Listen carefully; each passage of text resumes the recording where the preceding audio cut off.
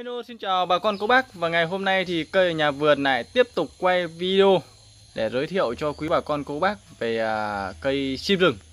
Và ngoại các chúng ta đều biết cây sim rừng thì có tác dụng về đông y. Tuy nhiên thì ngoài tác dụng và công dụng ở trong đông y thì cây sim rừng còn có thể làm cảnh trồng làm bóng mát và trồng để hái quả trồng để cắm hoa.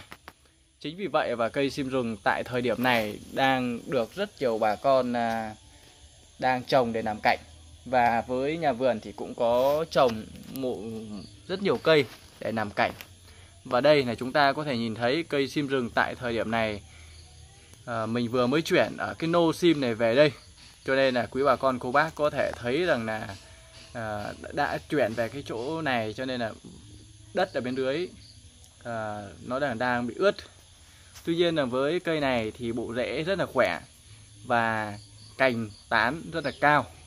Tùy theo từng loại vì nhà vườn có rất nhiều nhóm từ cây to cho đến cây nhỏ. Nhưng tại trong video này thì chúng ta cùng quan sát và thể nhìn thấy thì cây này đang có độ cao à, chừng khoảng từ 45 cho tới 70 cm tùy từng loại cây bởi vì cùng một nơi sinh trưởng nhưng sẽ có cây lớn cao và cây lớn chưa được cao thì có rất nhiều bà con quan tâm rằng là cây sim nếp hay là cây sim tẻ thì xin thưa với quý bà con là với nhà vườn thì cung cấp thì để cho có một cái quả tốt, hoa đẹp thì nhà vườn cung cấp chủ yếu là dòng hoa cây sim nếp. Và tại thời điểm như quý bà con cô bác đây cũng đang nhìn đây là dòng sim nếp với cái cánh, mình đã quay vào một cái cây để quý bà con cô bác à, cùng nhìn. Thì đây, cái cây này như quý bà con cô bác để mà nhìn rõ hơn thì ờ, mình đang lấy ra cái cây bên ngoài như thế này quay từ góc từ trên cao quay xuống. Thì quý bà con cô bác có thể nhìn thấy cái tán của nó có thể cao từ 10 đến 15 Đấy, bên trên là mình cấm ngọn đi để cho nó ra nhiều tán hơn.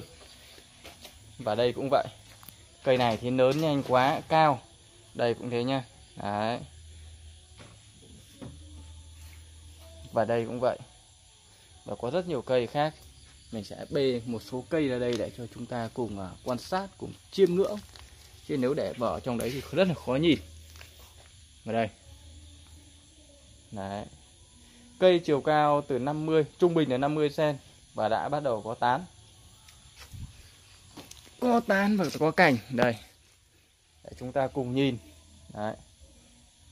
Thì quý bà con cô bác có thể à, gọi điện vào số điện thoại trong video này cũng như comment à, bình luận xuống bên dưới về những cái băn khoăn những thắc mắc về cách thức trồng. Và, và với nhà vườn thì ship code toàn quốc. Cho nên quý bà con cô bác cứ yên tâm gọi điện vào số điện thoại trong video này và nhiệm nhà vườn sẽ tư vấn cho quý bà con về cách trồng cũng như là ship một cách đảm bảo nhất. Xin chân thành cảm ơn.